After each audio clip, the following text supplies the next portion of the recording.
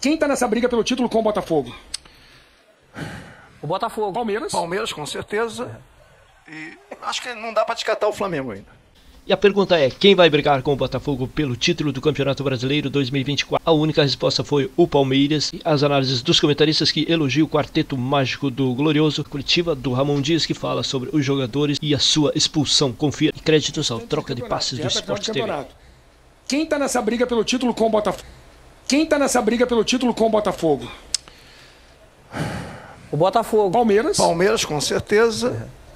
E acho que não dá para descartar o Flamengo ainda. Acho que o Fortaleza vai ter dificuldade. Está na Sul-Americana também. Acho que o Fortaleza, o objetivo do Fortaleza sempre foi mais a Sul-Americana. Apareceu o brasileiro para ele para brigar pelo título, ele está brigando. Mas o foco do Fortaleza é a Sul-Americana.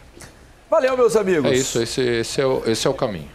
Obrigado, obrigado Encerramos? pela participação. Tá certo, tá? Fechamos a conta aqui, passa no caixa. Obrigado, Luiz, Lédio Carmona, o intrépido, Ricardinho, meu camisa 11, bom descanso. Sempre bom ter vocês aqui no Troca. Valeu, meus amigos. Valeu. Vamos continuar falando sobre essa vitória do Botafogo sobre o Corinthians, 2 a 1 É, Ele estava falando ali sobre os reforços, né, da importância do Depay. O Depay realmente dessa declaração de que ele se considera um, um 9,5, né? Tava pensando Pode-se aqui. dizer então que ele é um, um nove isopor? Por que isopor? Porque gosta de flutuar. É. Se o Corinthians Ele é tivesse um 9,5. 9 muito efetivo hoje, né? Talvez fosse o parceiro ideal pro, pro Depay ali, né? Para ele jogar ao redor do 9 ali, né? Mas o Corinthians hoje está com dificuldade nessa Mas pelo posição. contrário, Tem- eu acho que ele é ideal para esse time do Corinthians tendo o Garro por trás dele, porque ele, ele pode fazer isso. Apesar que o Então, Garro mas, não aí, é de. mas aí não é o 9,5, ele vai ter que ser 9 mesmo, É, né? mas, mas tudo, to- de toda maneira ele ajuda a construir. O problema é o Corinthians vai ter que criar uma maneira de também o Garro, que ele joga muito por trás, né? O Garro não é de infiltração. É. Se pegar ele, o próprio Almada, assim, eles têm essa característica bem de, de, de- de controle de jogo, é bola curta, é bola longa e tal. Só que você vai ter que, com, com, com Carrijo e de repente Thales Magno, você compor melhor. Porque você pode olhar nesse sentido a falta de, de aproximação. É isso aí. Às vezes é por causa de um, de um cara, um exemplo, não é a característica do Yuri e nem do Pedro Raul, de vir aquela questão de ter a sensibilidade de ocupar o espaço para vir flutuar e tal, e ele tem isso. Deixa eu fazer o seguinte, já já a gente continua comentando aqui, porque Ramon Dias, técnico do Corinthians, está começando a sua entrevista coletiva e a gente mostra para vocês. Você não acha que já passou da hora do Corinthians tentar uma reação no Campeonato Brasileiro? Obrigado. Bueno, nosotros eh, esperábamos, creo que todos, eh, tener el espíritu que, que habíamos tenido en el partido pasado con Flamengo. Creo que esa era la, era, era la línea a seguir y por ahí en el primer tiempo no jugamos bien. No se jugó bien, no, no hubo tenencia, no hubo presión. Si analizamos bien eh, prácticamente el primer gol, cómo, cómo pasó, fue una situación don- donde ellos llegan muy fácil, no hubo una presión, no hubo recuperación. Y eso es lo que más, lo que más nos preocupa, porque en estas situaciones hay que jugar con una cierta actitud, de una cierta forma para poder conseguir puntos como, como lo veníamos haciendo. Eh, creo que eso tenemos que cambiarlo inmediatamente y muy rápido, porque necesitamos los puntos. Eh, y también tuvimos, es increíble porque un partido que tenga dos penales y lo perdiste. No pasa siempre que, te den, que nos ocurra a nosotros, que nos den dos penales. Y también hubo otro con la mano, que también podría haber sido el tercer penal, y, no se cobró. Pero creo que tenemos que mejorar muchísimo en, eh, darse cuenta en la situación donde estamos en el Brasilerao. Porque eh, necesitamos reaccionar, tener otra actitud, tener otra, otra agresividad. A mí el equipo del primer tiempo no me gustó, por eso cambié. Y pudimos recuperar eh, con haciendo tenencia, un buen juego, pudimos hacer nuevamente lo presionamos, pudimos, pudimos llegarle al gol, pero eh, creo que nos faltó saber jugar en la situación que estamos. Ojalá que el equipo mejore, va a mejorar seguramente, pero necesitamos cambiar rápido, porque la situación no, no, no es fácil. Necesitamos otro espíritu, otra forma para, para poder salir de la situación. Ramon, boa noite.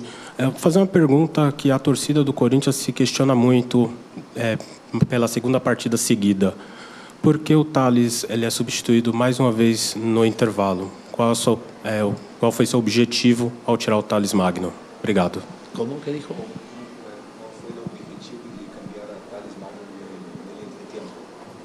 Eh, yo creo que porque no lo estaba rindiendo. No tenía tenencia, no era agresivo, no, no llegaba al gol.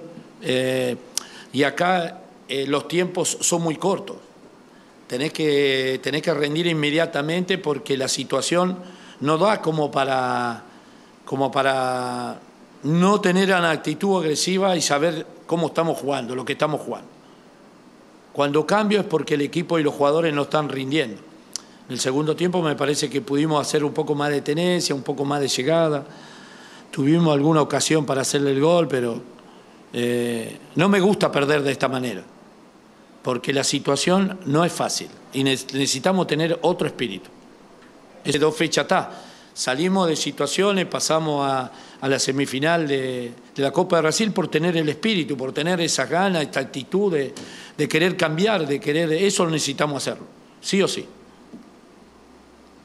Ramon, boa noite. Boa Alexandre noite. Jimenez aqui da Central do Timão.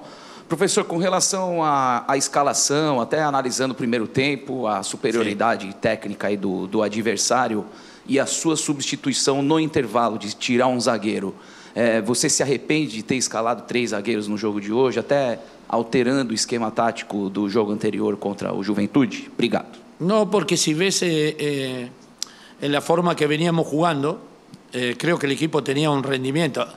Sabía que nos faltaron los dos centrales, faltaron oh, jugadores importantes, pero creo que eh, el trabajo está, lo, lo tuvimos siempre de esa manera. Eh, yo creo que nos faltó un poquito ser más agresivos, porque si analizasen los dos goles cómo fueron, fueron muy fáciles. Y estamos en una situación que tenemos que tener una cierta agresividad para, para, para que, no podas, que no te puedan concretar. Eso vamos a tratar de mejorar. Ramon, boa noite. Boa noite. Luan Siqueira, Rádio Craque Neto. A minha pergunta é sobre é, a- o batedor de pênalti. né? primeiro o pênalti Romero, segundo o pênalti o Garro. Essa escolha é da comissão técnica, é do jogador dentro de campo. Hoje o Corinthians tem um batedor oficial de pênalti? Obrigado. Me parece que usted lo conoce, el, el batidor oficial es Romero.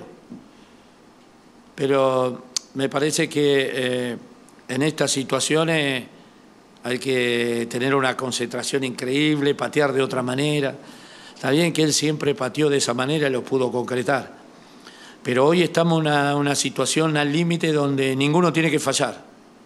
Ni el entrenador, ni los jugadores, ni los hinchas, nadie. No, no, no tenemos que fallar porque son, son situaciones al límite.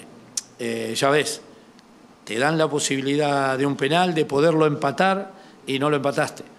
Eh, si, lo- si hacíamos el gol por ahí, eh, con el otro penal íbamos ganando 2 a 1, pero eh, se necesita un- una cierta concentración para, en todo sentido y todos, el entrenador, los jugadores, todo, todo el mundo para, para poder conseguir los puntos para el Brasileirão.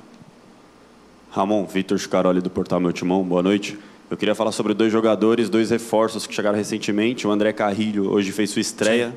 Queria que você fizesse uma avaliação, entrou no segundo tempo ali como mais no meio de campo. E sobre o Memphis Depay, é, muito se fala dele já poder estrear no próximo sábado contra o Atlético Goianiense, se você pode passar uma previsão. E o que, que você sentiu do jogador nesses primeiros dias de treino ali no CT Joaquim Grava? Obrigado.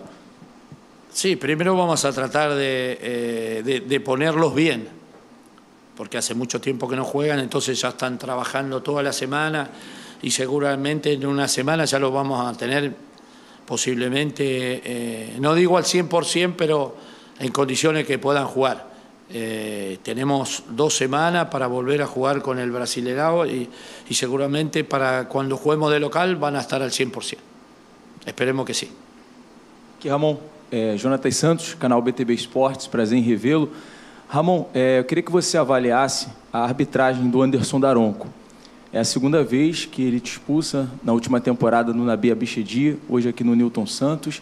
Você acha que é algo pessoal? Eu queria que você avaliasse mais sobre a arbitragem do Daronco. Sí, lo que tiene que, eh, como dije, creo me parece en las conferencias anteriores, el árbitro tiene la facilidad y, y tiene la ayuda del VAR que puede, que puede solucionar algún error que haya cometido.